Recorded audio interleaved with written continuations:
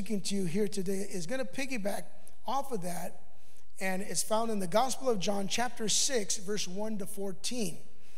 And I've entitled this message, Level Up Faith. Level Up Faith. Because we all we picked up finances, we picked up pledges, finances to finish the, the work of God and finish the house of God and take care of it. And, and it takes faith to be able to, to, to invest, to make that shift, especially as sometimes it's new to us. I was sharing with the first service, you know, when I first got saved, you know, I was the problem. You know, because I, I just got saved, came out of came out, you know, my background, you know, and my wife was no problem. Oh, they asked for money to give. Oh, yeah, I'll pay my, then parents. I said, what's the matter with you? How you paying? What are you, what are you giving to that? I said, we're on welfare, man. We're barely making it. What are you doing? I was, I had to, re, my mind had to be renewed, all renewed. I was born again, amen. But the temple needed to be rebuilt. The walls, the broken walls, had to be rebuilt, amen. And so, and I'm the priest of the house. We got to remember, men, we're the priests of the house. It starts with us, right? And this priest wasn't doing too good in the early beginning, amen. He had to make some changes. But once I made the shift and once I made the changes, and we started giving the little, even the little bit that we had in obedience to the word of God, like he says, test me and see if I'll not open the windows of heaven. I mean, I can go on and on with testimony. I tell you, groceries were found in our door. Amen. Different ways God opened doors, even multiplied our gas. You know, the E enough. You know, yeah. You know, we always were on that E enough. Okay, we got enough. Let's go. You know, and God somehow would multiply, amen, those fumes to get us where we need to go. Amen. I mean, simple, crazy little things, but God was always fair. Just like in the wilderness, their shoes never wore out, right? I mean, God always provided for them what they needed. And so, it, but all that takes what? Faith. Faith. So let's look at this story here this morning. And I know that we're not going to finish it. This is going to be part one. And then next Sunday will be part two. Okay? But it's going to be part one. So we're going to get started. John chapter 6, verse 1. The word of God reads like this After these things, Jesus went over to the Sea of Galilee, which is the Sea of Tiberias. Then a great multitude followed him because they saw his signs or his miracles or performed those that were diseased. Then Jesus went up on a mountain, and there he sat with his disciples. Now, then Jesus lifted up his eyes and seeing a great multitude coming toward him, he said to Philip, which was one of his disciples, Philip, he said to Philip, Where shall we buy bread that these may eat? But this he said to test him or Another version says to prove him, for he already knew what he was going to do. Philip answered Jesus and said, 200 denarii worth of bread is not sufficient for them, that every one of them may have a little. Then one of his other disciples, Andrew, Simon Peter's brother, said to him, There is a lad here who has five barley loaves and two small fish, but what are they among so many? Then Jesus said, Make the people sit down. Now there was much grass in the place, so the men sat down in number about 5,000. And Jesus took the loaves, and when he had given thanks, he distributed them to his disciples, and the disciples to those that were sitting down, and likewise of the fish, as much as they wanted. So when they were filled, he said to his disciples, Gather up the fragments that remain so that nothing is lost. Therefore, they gathered them up, filled 12 baskets with the fragments of the barley loaves which were left over by those who had eaten. Then those men, when they seen the sign or seen the miracle that Jesus did, said, This is truly the prophet who has come into the world. Father, help me now. Bless me now to communicate your word to the people that you have here today. I pray that they will receive revelation, insight, uh, a rhema word that'll change and transform their, their faith and their life forever. In the name of Jesus, we pray. Amen. Level up faith. Now, what we find here in the Gospel of John is Jesus doing just that, trying to level up the faith of his disciples.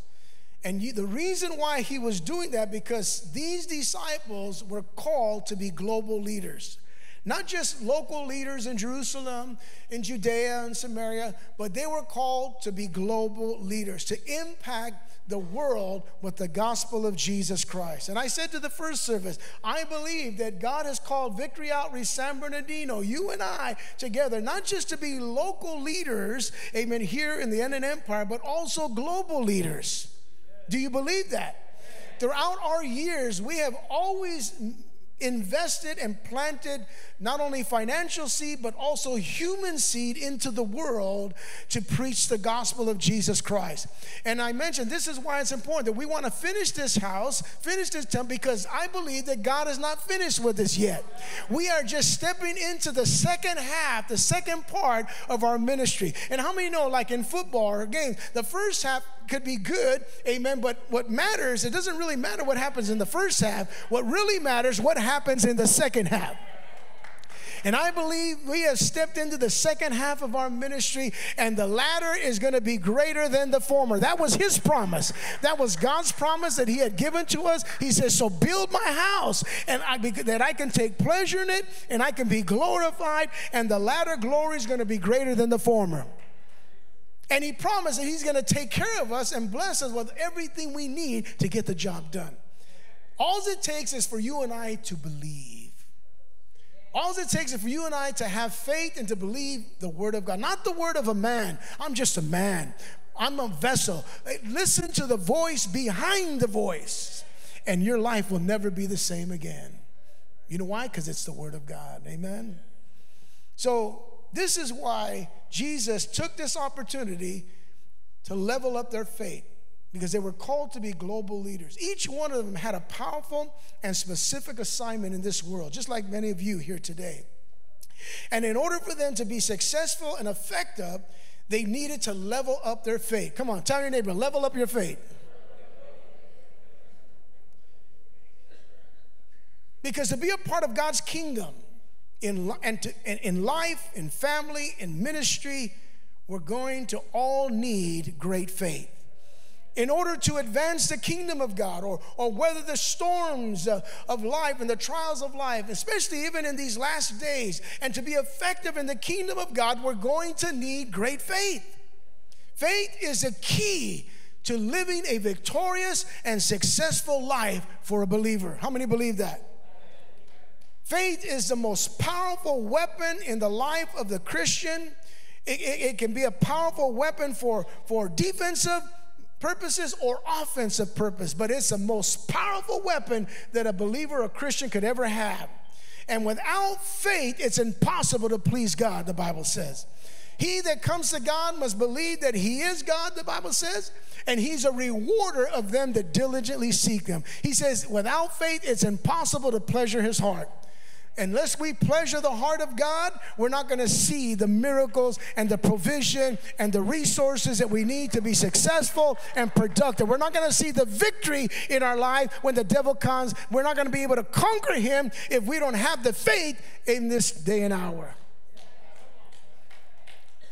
See, without faith, the believer's a dead man. Faith without works is dead, right?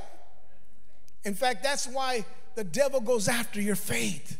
If there's anything that he wants, is your faith. If there's anything he wants to take away from you, is your faith. So he'll always, in life, family, ministry, in the kingdom of God, the devil always trying to assault your faith. He'll assault your faith when he hits your marriage and when he hits your children, when he breaks down your business, uh, when things don't go as, as, as planned, the way you thought it was going to happen. Many times when doors close, you got to always remember God will always open another door. Especially if you're part of God's plan and God's purpose. You're his son, you're his daughter. Man, the devil don't like that. If there's anything he can do to get back at God is to mar and destroy his image. And you and I have been created in the image of God. Devil's a liar, amen? Hebrews says in Hebrews 11 1 that faith is a substance of things hoped for, the evidence, the evidence of things not seen. I, I, when I talk about faith, I, I tell people faith is believing, it's trusting God with all of your needs and all of your in all of your circumstances and in all of your situations. Amen. Now, when it comes to faith and trusting God, there are three facts that I always like to communicate when it comes to faith and trusting God. Are you ready? The first fact is this the fact that God is an omniscient God. You must believe that. God is an omniscient God. What does that mean? That means that God is an all knowing God. God knows all things. According to the scriptures in Psalms uh, uh, 30, 139, verse 1 to 6, 1 John chapter 3, verse 20, Psalms 147, verse 5, it speaks about the all knowing God. God, our God, my God, your God, the God that we worship, the God that we serve. He is an all knowing God. He knows all things. In fact, He knows what you did yesterday. He knows what you did last Friday. He knows where you were, He knows what you did. In fact, He even knows what happened on the way to church today. God is an all knowing God. He knows all things. Amen. He knows all things. Amen. But this is the beautiful thing when it comes to this fact that God is omniscient that He's all knowing. That when you face trials and tribulations, when you face the assaults of the enemy upon your faith, when you go through your darkest hour, your most difficult times of life, family, and ministry, I'm here to tell you that God is not somewhere far away and left you alone. God knows all about it. He knows every detail, what you're going through, what you're facing, what you're battling, what the devil's trying to do. He knows all about it. You're not alone. And the other exciting thing about God being all knowing and knowing all about it, He also knows how He's going to deliver you, how He's going to get you through, and how He's going to pull you out. Because He's an all knowing God. He knows all things. And that's a fact. The second fact, when it comes to trusting God and believing God, is trusting in the fact that God is omnipotent. Omnipotent. What does that mean? That means that God is an all powerful God. God is an all powerful God. Genesis 1 1, you see how he created all things. In Psalms uh, 33, verse 9, Genesis 1 3, Jeremiah 32 27 speak about God being an all powerful God. The God that we serve, the God that you and I worship, He is an all powerful God. Amen. He, he's the creator of heaven and earth. He created everything that we see, the earth and the, everything in it. He's all powerful. And the Bible says there's nothing too hard for God. In fact, what may be impossible for man is possible with God. Why? Because he's all powerful. He's all powerful. So, whatever you're facing, whatever financial situation, whatever sickness, whatever disease, infirmity, whatever challenge or trial of life, difficulty of life, you got to know if God has called you, if God has a plan for you, listen, it's just temporary. I said, it's just, you got to learn to trust in the all powerful God that your mountain, your valley, whatever you're facing, it's not too big for God.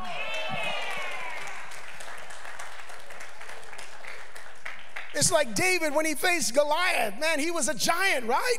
And people say, You can't fight that giant. You can't take out that giant. He's too big. Amen. David said, No, nah, he's too big to miss because I got God on my side. God is with me. In fact, when he confronted Goliath, he says, You uncircumcised Philistine, you come to me with a sword and a spear and a javelin, but I come to you in the name of the Lord of hosts, the God of Israel, my all powerful God.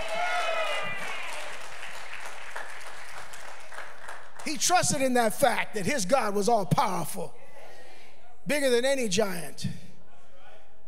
And then the third fact that we need to trust in when it comes to believing and trusting God is the fact that God is immutable. Immutable. What does that mean? That means that God never changes. The God that we serve is a God that never changes, He remains the same. Isn't that beautiful? In Malachi chapter 3, verse 6, he says, I am the Lord, I do not change. That tells me that if God is an all knowing God, He's always all knowing. He never changed. He, all, he knows all about our situation and all, knows all about our victory. Amen. Way ahead before it even happens. He, and he never changes. He remains the same. If God is all powerful, he's always full of power. He never runs out of power. There's never anything to do because he is God. He never changes. If God is faithful, he remains faithful. If God is loving, he's an everlasting loving God. If God is merciful, his mercies are new every morning. God that we serve never changes. And what's good about that fact is that is this because God is a God that never changes. He's the same yesterday, today, and forever. Whatever you went through yesterday, He got you through it. And whatever you go today, He'll get you through it. And what you go to go through tomorrow, He'll get you through it. He didn't bring you this far to leave you. He just wants to level up your faith. So please keep these facts in mind as we move on with our story. Let's go back to the scriptures. Are you ready? So, going back to the scriptures, it said, the Bible said, after these things, Jesus went over the Sea of Galilee, which is the Sea of Tiberias. And then it says, then a great multitude, a great multitude followed him. That a great multitude in the Greek mean, means a massive, massive multitude was following Jesus. Now, let me just mention something here today as we move on, before we move on. Now, when you read the New Testament, we read it in English, right? But the New Testament was originally written in Greek. You have to remember that it was a time of the Roman Grecial Empire, right? Where Greeks, the Greek, the Greek Greco Empire still had a, lot of cultural influences. In fact, language, culture, different things. But yet the Roman Empire was the, the, the dominating empire. So the language was Greek. They writ, they writ, they wrote in Greek. So sometimes when we read the Bible, we're reading in English. But when you really do your due diligence and you want to read and know what was what was this man saying to these people and what was he trying to communicate? If you want to get the original meaning, many times you got to go deeper. Say, go deeper.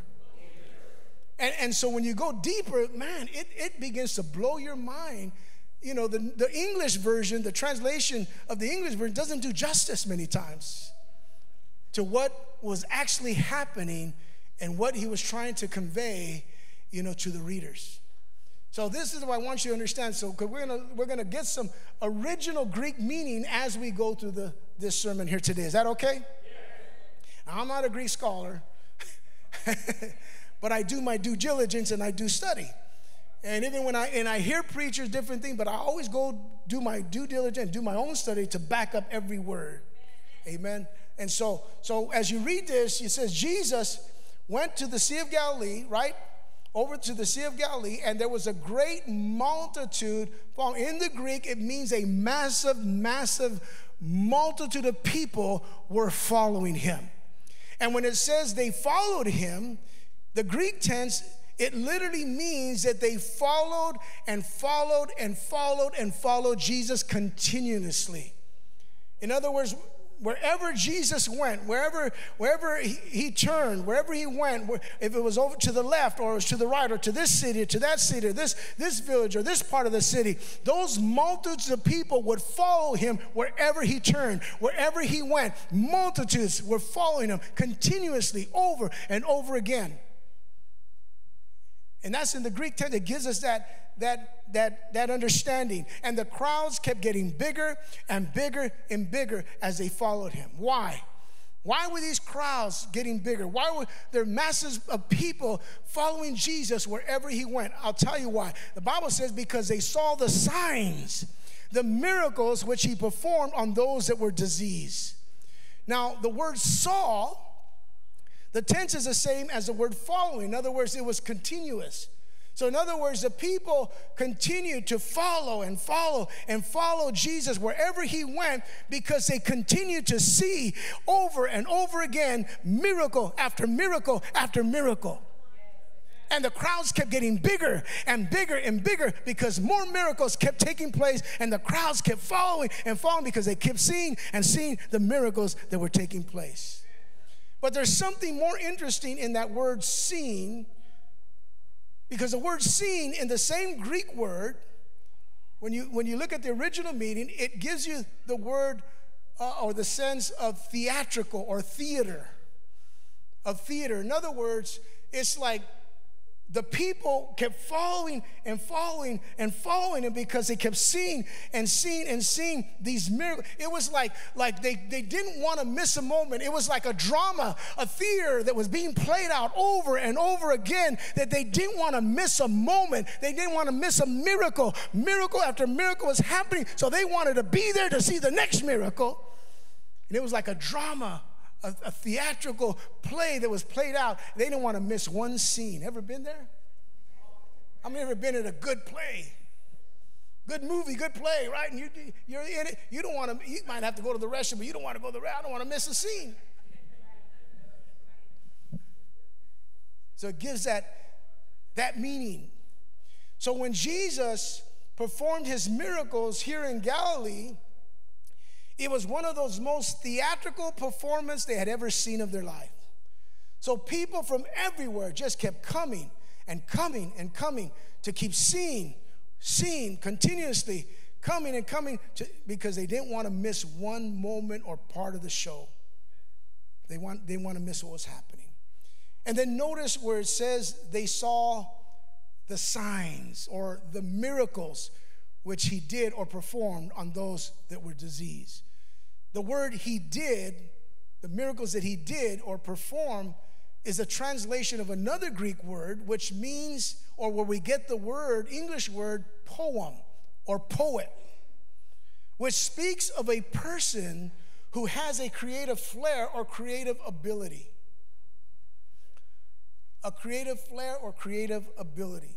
So, what is telling us then is telling us that when Jesus did these miracles, when Jesus performed these miracles, he didn't just heal blindness.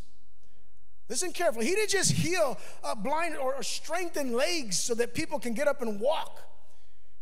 No, my friend, he didn't just go heal headaches or backaches or, or, or, or, or certain things, but rather, in other words, what was happening and, and rather what the, what, the, what the Word of God is conveying or communicating to us, that, that there was this creative power that was being unleashed in and through Jesus, that Jesus was not just healing blindness, but creating eyes. He was not just healing broken limbs, but creating limbs. That's, that, that's the, what, what the original scripture is telling us. See, we don't get that. But in other words, there, there was, there, people were following. I mean, I'm telling you, people, that's why there were so many masses of people, masses of people going after him, going, continuing following him, following, wherever he went, because they were seeing things that they had never seen. It was blowing their mind. And when people saw this, they didn't want to miss a scene, miss a miracle that was happening. That's why they just kept on following him and following him and following him. Isn't that amazing? You know, I, listen, I, I have faith to believe God for heal cancer. I have faith to believe God to heal diabetes. I got faith to believe God to heal, you know, limbs or, or pain in the back. Or I got faith to believe liver disease, kidney disease, all the they, God, they can be healed. I have faith to go in the hospital, lay hands on somebody that's there in the ICU, and believe God. God, I have that faith. Oh, but my friend, when I started reading this in the original text, my God, my faith went another level. I said, My faith went another level to read about what Jesus was doing in that day. And now, and the exciting thing is this didn't Jesus say, Greater work shall you do in my name? Didn't Jesus say that? That, you, that as disciples and followers of Christ, greater work shall you do in my name? And I'm telling you, in this last days, uh, I believe there's going to be an outpouring of God's Spirit because the Bible says it. The Spirit of Elijah is going to be in this day and hour, and we're going to be able to see. If we let, if we level up our faith, our eyes are going to see the same type of supernatural invading power of God. Do you believe that? Jesus was literally releasing creative supernatural power upon these individuals. Isn't that powerful? So when the people saw this, they didn't want to miss it. That's why a multitude and the crowds kept getting bigger and bigger. Then it goes on to say, they kept following and following him because they kept seeing and seeing these miracles, these signs on those on those that were diseased. Now that simple little word on. Notice it says on those. The word on in the Greek is epi, which describes a descending force. A descending force. In this case, it describes an invasion of divine, miraculous power that came into Galilee in Jesus' day.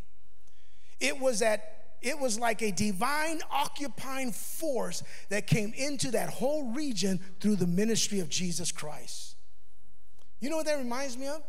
It reminds me of Matthew 11. Remember years ago when I preached a message, the kingdom of God suffers violent and the violent take it by force. The kingdom of God suffers violent, and the violent take it by force. And many people interpret that in many different ways, but when you study that, what he was talking about when Jesus began his ministry and began preaching the kingdom of God, repent because the kingdom of God is near. And the Bible says that he went from town to town, city to city, village to village, and the miraculous kingdom power was being unleashed uh, in and through him to, on those that were sick and diseased and captive and oppressed by the devil. They were being set free, they were being healed by the power of God. The kingdom of God was so violently uh, shaking up that neighborhood, shaking up that household by his healing power, his delivering power, setting people free. Amen. And just as violently the kingdom of God, when all that divine power was, was moving, people, the Bible, when you study it says people, people that were there in the marketplace, people, when Jesus would go by their street corner, then those that were keen enough to recognize that this was a true man of sent from heaven, a true move of God, just as violently they were pressing into it. How many remember sometimes at conferences? we're at conference. We're just having a conference. But man, some of these men and some of the, all of a sudden the altar's open and they're just running violently.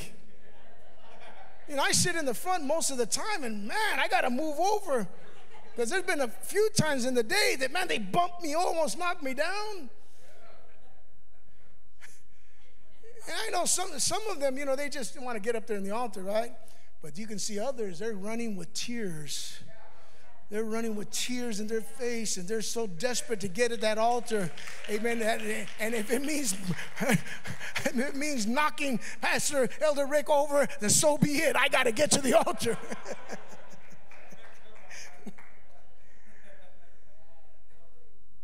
Isn't it amazing? And I believe that this is going to happen in this last day if we level up our faith. Let's read on. And Jesus then went on a mountain, the Bible says. And there he sat there with his disciples. And then the Bible says the Passover, the feast of the Jews, was near. Now, this event that took place on the, on the side of this mountain, they say was very close to a city called Capernaum, Capernaum, which was known as the city of Jesus. And the reason why Jesus, because Jesus chose Capernaum to be his base of operation. This is where, and it is said that he did most scholars say that most of his miracles, you know, were done in and around Capernaum. It was a, a chosen city. He chose to set up his base camp, his base of operation to go out and preach and heal the sick.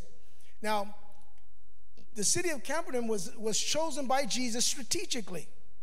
He chose the city strategically to be the place to set up his base of ministry. And the reason why, and let me just show you how many know that God never does things by accident. He, he's very strategic, he does things with a purpose. And the reason why he set Capernaum up as a base camp strategic because the city of Capernaum was one of the largest cities along the Sea of Galilee. It was a port city, and it was one of the largest cities along the Sea of Galilee. It had one of the largest ports. It was a very rich city, and it was rich. Uh, it was so rich that, that, the, all, that the, one of the finest synagogues around the region was there in Capernaum. It was one of the largest, it had one of the largest attachments of the Roman soldiers' uh, uh camps or posts. There was a lot of intellectuals there. Capernaum was on the border. It was a city where people would have to pass through to get to Jerusalem. And they had to pay taxes there, and there was a lot of money there. In fact, all the taxes around Galilee was held there in Capernaum, because that's where, and that's where Jesus found Matthew, the tax collector. So when Jesus chose the city of Capernaum as his base, it was a rich city a city well located, a city that was filled with an international population, and there was a military, there were military forces there that had something. You know, I was reading, it reminded me of Frankfurt, Germany. It, it described Frankfurt, Germany. You know, we have a church there now, right? And it was almost the same thing. Frankfurt, Germany, there's base camps, uh, army military bases all around Frankfurt. It's an international city. It's, it's amazing because God never does things by accident, right? So, along the side of Capernaum, also, listen to this, was a very important road which was called the Via Maris. Now, the Via Maris was a road that came down from the city of Damascus on the north of the Sea of Galilee. It came down and it passed through Bethsaida and then to Capernaum, all the way down through Jerusalem down through the Sea of Galilee to Jerusalem, and then if you wanted, they wanted to go, they turned a, a certain way all the way to Cairo which meant that there was a constant flow of traffic always passing by, which meant Jesus set up a base in a location where he literally didn't even have to go far to reach people. Masses of people were coming to him. He didn't have to go reach the nations, the nations were coming to him. Jesus had become the biggest tourist attraction in the city of Capernaum. Now, notice it says, Now Passover, the feast of the Jews was near. Now they went to the side of a, mill, a hill. He sat down with his disciples, and then the Bible says the, the feast of the, Pas- the feast of the Passover was near. Now the Passover was a very important and special event that took place every year where heads of household would pack up their families and, and head to Jerusalem to celebrate that special day.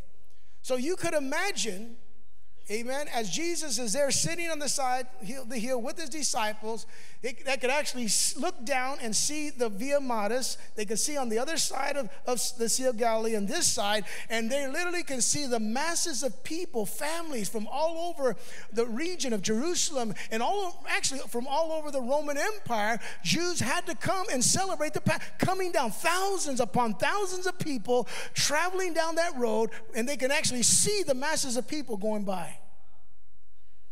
The Bible says, then Jesus lifted up his eyes after he was, was sitting there, lifted up his eyes and seeing, there's that word again, seeing, that carries the idea of a theatrical or theater. In other words, he started seeing played out right before him like a drama, masses upon masses of people starting to come towards him. Somehow they heard that Jesus was Jesus of Nazareth. Yeah, the one that opened blind eyes. Yeah, the one that made the cripple walk. Yeah, the one that cleansed the leper. They were on their way to Jerusalem, but when they heard that he was on that mountainside, they made a U turn and started coming around and they started following and going towards Jesus. How many, when you're desperate,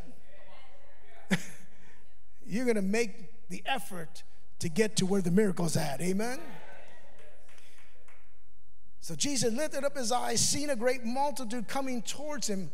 In other words, an, another mass of people started making their way directly towards him. When that began to happen, he's seen all these masses of people there. Then he said this. He turned to one of his disciples, he said to Philip, Philip, where can we buy bread to feed all these people? Now remember, they separated to a deserted place. They can see the cities, but they were uh, in a desert. There was no marketplace. There was no stores around. Amen. But he said, Where can we buy bread that these can eat? But this, the Bible says, listen carefully, to test them. He said this to test them. Another version says to prove them or expose him. For he himself knew what he was going to do. Again, Jesus is all knowing. Now, listen, Jesus did not ask this question to get information from him, he asked a question for the person he was talking to and those that were listening around him in order to prove them, to test them. And the word prove or test in the Greek language, it means to test something to find out if it's defective. In other words, he did this to, to expose them, to uncover, to reveal. Jesus wanted to expose, reveal, and uncover where their faith really was. They had been following him and following him along with the people. They see miracle after miracle after miracle. But now he wanted to expose their faith, expose really where are you in following me? Do you really believe who I am, who you say that I am? And he wanted us because he wanted to make sure that they had enough faith that he could level up their faith because they were going to be world shakers.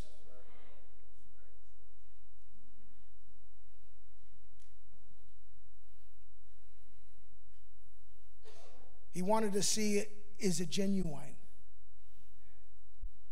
Because how many know there's a lot of people that follow God in fact, there was a time that people, when he fed them, people were following. Then he stopped and he says, You know what? They're following because of the bread. They're following because of provision. I'm providing for them. See, a lot of people come to church and they follow Jesus for the benefits, for the miracle, for the touch, for the healing. Oh, but then when we come like last Sunday and say, okay, after all that, now are you ready to give? How many can give 2,000? How can we give a 1,000? Oh, then that's where the faith is tested. Uh, we, we all want the benefits and all the privileges, but we don't want to pay the price. Oh, but God was very clear. He says, No, this is a time. I believe because God was leveling, is ready to level up our faith. God used that Haggai, that message, amen, the house to level up our faith. Today, we've been seeing miracle after miracle. We've been seeing crowds coming, people coming, families coming, young people coming. God is moving by His Spirit. People are getting saved, amen. But how many know it's not just being saved? Now we got to get the saved to level up their faith so that they can have the faith to believe not just for 2000 or $1000 that's nothing to god. But to believe god for bigger things and greater things in their marriage their family their children their business their life their ministry. Because god wants to use us in a greater way. God wants to do more in us and through us than we could ever imagine or dream. But if we don't have the faith level, we're going to limit God. We're going to limit. I, I don't care if you just came last week or you, God wants to raise your level of faith. God has plans for you, sir. God has plans for you, man. God has plans for you, young man, and it's bigger than what you could ever imagine. I know it might be new to you, but I guarantee you, if you just trust this word, amen, and listen to the voice that's behind the voice and respond to God in obedience, I'm telling you, you're going to see signs and wonders take place in your life and through your life. He wanted to see if their faith was genuine. Because you would think that all the time that they had walked with Jesus and seen the miracles and all the miracles that they even did by being empowered by God, you would think that, like watching a good play and drama, they would have been ready with great expectation when Jesus asked this question to test their faith. I don't know, Lord, how you're going to do it. I don't understand. I look at what their situation, but you know what? You're God. You're the prophet. You're the son of God. Amen. So I'm just, you just tell me what I got to do, and I'm ready to see the miraculous.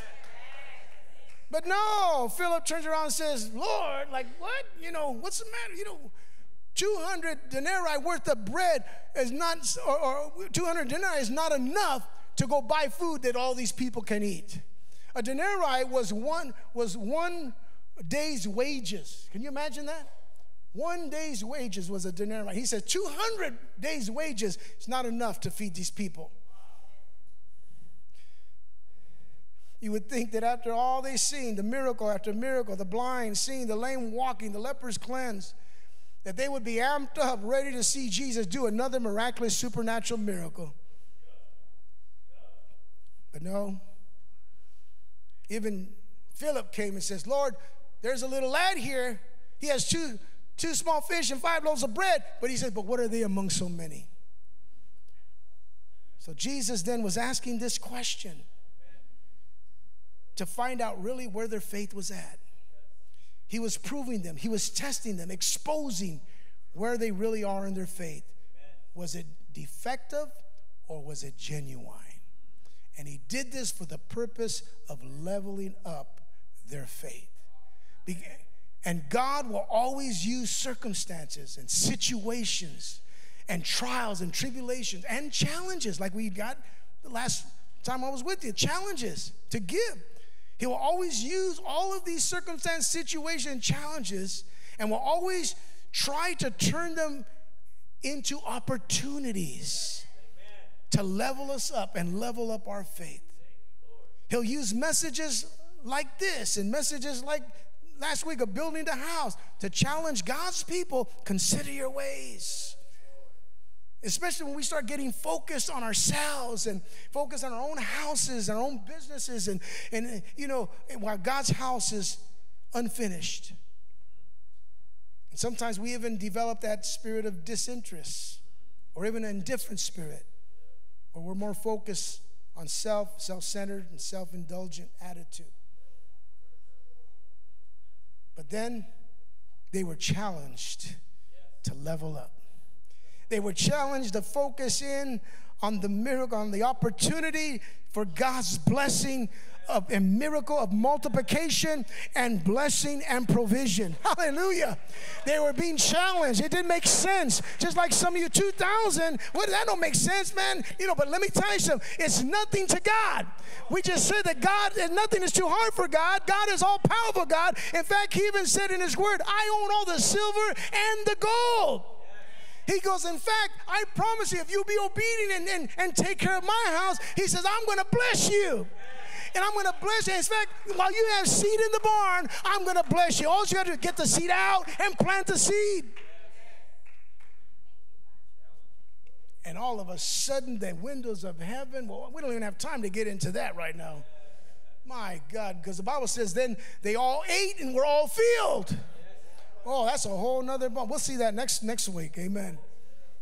Because it's only three times, really, I think it's three times that, that the Bible talks about the heavens opening like that, God opening the windows of heaven or the heavens opening. I think with Noah, the flood, right? And then I think there was another one, and then also I remember then where the Bible says in Malachi, bring all the tithes in the storehouse and see if I'll not open the windows. And that's we'll get into that next. That's amazing. But they were challenged to level up.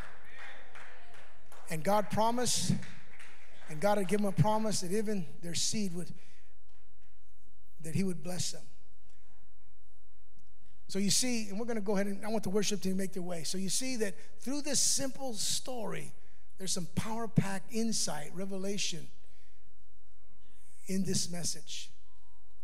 Because I believe that Jesus was doing this purpose. He said, I did this to test them, to prove them, to expose, to reveal, to uncover where their faith really was at.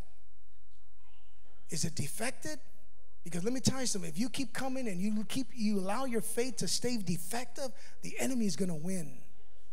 Life's troubles are gonna win. Certain situations are gonna overcome you. Remember, Jesus, don't worry about these things that you're going to eat, wear, all that. We go seek first the kingdom of God because most of us worry about those things.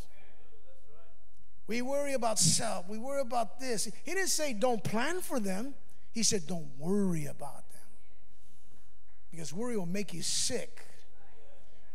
Worry will keep you captive.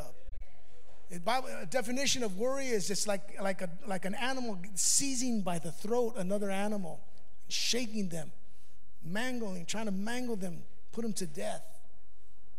Another interpretation of worry in the definition is like is like a, a, a, consistent biting over and over again. Like if you disturb a beehive and you got bees all over and they're just biting you, and you know, how many know sometimes you're worrying you're like that? Huh? It distracts you from life. It distracts you from going to work, taking, you know, your marriage, your children. You're just worrying about how am I going to eat? I got to work. I got to work overtime. I got to make money. I got to take care of self. It's about me. Church don't take care of me. They got to pay my bills. But God will. I said, God will. Oh, yes, He will. He's done it for me over and over and over and over again. That's why I keep following him and following him and following him and following because I keep seeing and seeing and seeing and seeing his signs, his miracle working power, his creative work at work in my life, in my finances, in my marriage, in my children. I see it over and over. That's why I keep on showing up. I keep on giving. I don't stop. I keep on going because he is a faithful God. God is faithful, all powerful, and He never changes. Whatever you're going through today, listen, the same way He got you through yesterday, He'll do it again today. And He'll do it again tomorrow because He's the same yesterday, today, and forever. Oh, hallelujah. I want to pray for some people here today. I want to pray for some people and say, you know what? Level up my faith, God. Level up my faith. I dare to believe. I want to see your glory. I want to know you more. Level up my faith. I don't want to stay with little faith. I don't want to stay with just ordinary faith. If you have plans for me and you have called my life and there's assignment for me in the world and, and if I need this faith, then I'm ready. I'm ready to, to place my life in your hands. So the next time you, when you leave this place and and you you go to your work, you go to your school, you go back to church, wherever you go, you're to always have this sense of expectation. Especially when a challenge comes, you're to look at it and whoa. But then you're to shift and say, wait a minute, this crisis, this challenge, this is an opportunity. God probably is getting me ready to, to bless me. He's getting ready to take me another level. So I have to respond correctly to it. I can't panic. I can't doubt. I can't let unbelief set in. I got to trust God. I got to trust God. If that's you here today, we're going to sing a song and you need God in your life. If you're not saved,